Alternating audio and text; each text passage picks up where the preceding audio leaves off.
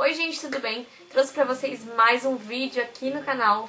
É, fazia tempo que eu não falava com vocês assim, mais de perto, né? Eu sempre tô mais no Stories, lá do Instagram, pra quem não me segue. Eu vou deixar aqui embaixo o meu Instagram. Pra quem não sabe, eu fico embarcada sete meses dentro de um navio de cruzeiro, trabalhando, e fico uns dois a três meses em casa, tá? Então, então nesse momento que eu fico em casa, eu sempre faço vídeos pra vocês de curiosidades de como que é o navio e tudo mais, e como é que é a nossa vida lá. É, se vocês gostam desse tipo de assunto de viagem, toda vez que eu viajo eu levo vocês comigo. Vocês podem me seguir também lá no Instagram, vou deixar aqui embaixo meu endereço. Vocês conseguem ver é, minhas comprinhas que eu faço na Europa e várias coisas legais. E fora a rotina que é o navio, né? Aqui no YouTube o vídeo é um pouco mais elaborado, então a gente fica limitado em fazer um vídeo, editar para depois mandar e subir pro canal. Diferente lá do Instagram que vocês estão sempre lá comigo, tá? Sempre quando eu posso, eu posto em stories pra vocês. Então, gente, a gente tá chegando a quase 15 mil inscritos aqui no canal. Curta esse vídeo, compartilhem para os amigos de vocês que gostam de viajar e a gente aborda bastante assunto, tanto como trabalhar lá fora, quanto a cultura em geral lá de fora. Com isso eu trouxe para vocês hoje aqui no canal como eu tenho essa vida que eu sempre vou e volto, eu moro num navio, moro aqui no Brasil, convivo com pessoas de diferente nacionalidade. Eu tenho alguns costumes que eu fui pegando ao longo da minha vida e eu queria compartilhar com vocês nesse vídeo.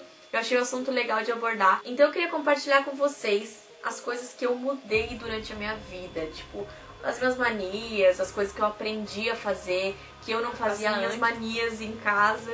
E eu queria compartilhar isso com vocês, tá? Então é isso, gente. Deixe seu like, não deixe de se inscrever aqui no canal e ativar o sininho aqui do lado, porque assim vocês recebem notificações direto no celular de vocês e vocês podem correr lá e dar uma olhada nos meus vídeos, tá? A primeira coisa que eu pensei quando eu fui fazer essa lista das coisas que eu mudei é de comer de garfo e colher. Para quem não sabe, a maioria dos países asiáticos eles comem de garfo e colher. Então, como eu estou sempre no meio de pessoas que têm essa nacionalidade, eu sempre estou comendo a comida deles porque eu amo demais. Então, eu acabei me adaptando não porque eu quis, mas sim porque eu também, para quem não sabe, eu morei em Singapura. Vou deixar o vídeo aqui em cima que eu falo um pouco sobre Singapura, sobre a cultura e tudo mais e tudo que eu vivi lá. Mas uma coisa que eu me adaptei total, assim, é de comer de garfo e de colher. Foi uma coisa que eu mudei e eu, eu gosto. Eu acho que a gente sente mais cheio, sabe? Por mais que eu faça dieta, por mais que eu coma ovo com legumes, com brócolis, eu, eu sinto mais satisfação em comer de colher. E pra quem não sabe, quando eu como a carne, a colher, ela mesma, tipo, o garfo segura e a colher mesmo corta a, a segunda coisa que eu acabei me adaptando em relação ao meu trabalho, as pessoas que eu convivo e tudo mais, foi o meu inglês. É, muita gente me pergunta se a gente acaba aprendendo inglês no navio e sim, na realidade eu aprendi a falar inglês no navio. A fluência que eu tenho hoje foi do navio. Realmente lá tem um sotaque mais distinto, pelo fato de vocês é, trabalharem com outras nacionalidades e tudo mais. Então acaba que um se adapta ao outro e a gente tem meio que uma linguagem de navio. Mas pensando no Vanessa falando inglês, é, o meu inglês é quase de filipino. Tá? É, assim, ele tem uma entonação diferente. Então o meu inglês ele ele é um pouco similar ao inglês de filipino. No navio a gente puxa muito R, tipo after, pelos indianos também, que falam assim, indonesiano. Então, assim, o meu inglês eu me adaptei totalmente ao inglês de navio. Mas é claro que quando eu vou falar com passageiro, quando eu tenho que falar no telefone, quando eu vou para outros países, eu uso um inglês com um acento bom, né? Tipo, eu não uso o inglês que eu uso no navio, do tipo, ah, really? Uma outra coisa que eu acabei aprendendo depois de eu trabalhar no navio, não é nenhuma coisa cultural de outra pessoa, tá?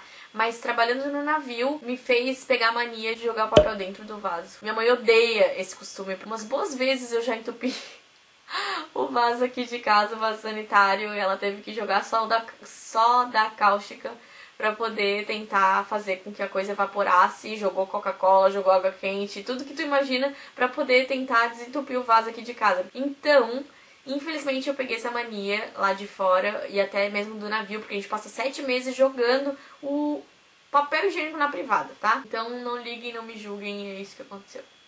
A quarta coisa que eu aprendi a fazer, assim, convivendo com esse povo mais asiático e tudo mais, foi comer sopa quente antes de uma refeição principal. Por exemplo, é, antes de a gente comer uma refeição, tipo, de arroz, carne, a gente tem uma sopinha assim para uma entrada. Então a sopa na vida dos asiáticos, na vida dos filipinos é muito importante.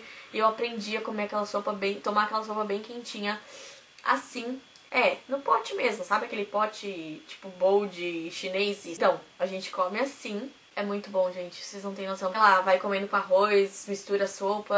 Eu aprendi a comer assim, sabe? Botando o garfo aqui, aqui, aqui, aqui. O brasileiro a gente tem mania de fazer um prato só, né? Mas lá, tipo, os asiáticos, eles têm mania de fazer cada bolzinho um, uma comida, entendeu? Tipo, um arroz, um bowl de carne, um bowl de sopa.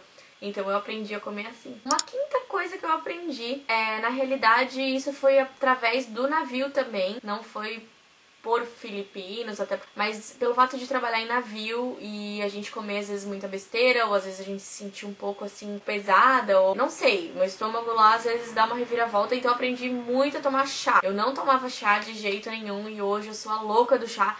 E com os filipinos e com o morar lá fora, eu aprendi a tomar chá gelado com leite. Milk tea com gelo e leite. Eu gosto muito. Até o Joshua, que trabalhava comigo, ele me ensinou a fazer, porque até então eu tava.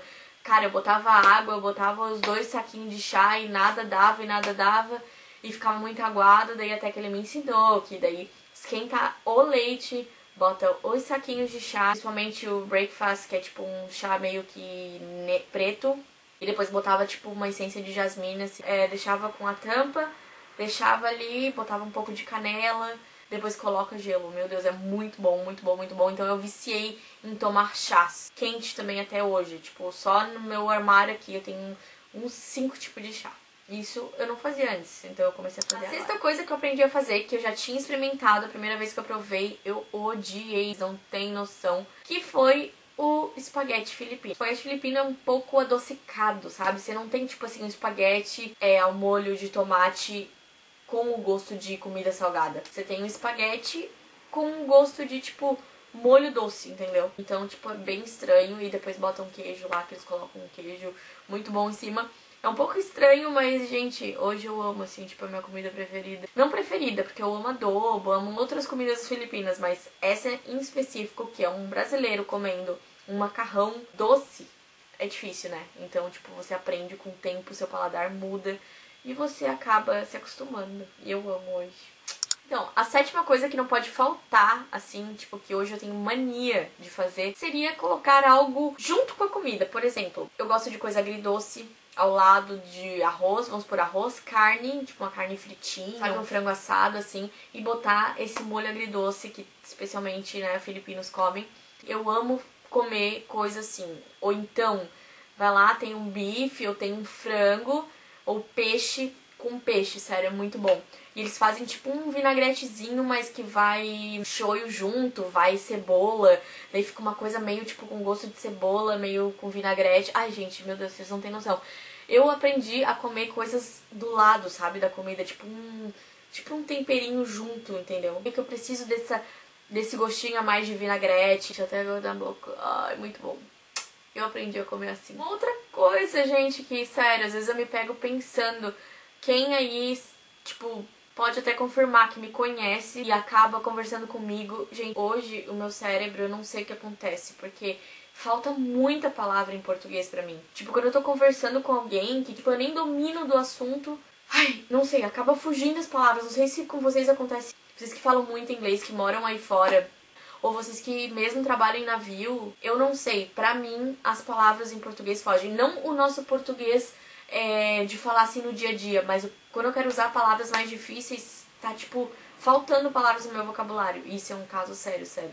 Eu não tô conseguindo lembrar de muitas palavras em português, assim, um vocabulário. Muitas coisas assim que eu já não lembro, entendeu? As palavras, tipo, certas para usar. Se eu for fazer uma reunião de negócio, eu não vou saber falar formalmente com as pessoas. E a última coisa, né, que eu não poderia deixar de falar aqui, que eu tenho até essa foto aqui no meu Instagram. E no meu Instagram eu sempre, quando eu posto alguma foto, eu coloco alguma coisa assim, dizer, uma, uma, uma coisa minha, assim, sabe? Uma coisa que eu aprendi, uma lição de vida que eu estou levando pra minha vida, dependendo da foto que eu coloco. Então, essa foto aqui eu falei, eu fiz um textão sobre o que é comer com a mão. Hoje, gente, se não é alguns assim, alguns alimentos específicos, quando é arroz com carne, eu não consigo me conter. Aqui em casa eu não como porque eu não sei, às vezes eu acho que minha mãe não vai gostar de me ver comendo com a mão, a minha tia também, mas no navio eu me passo.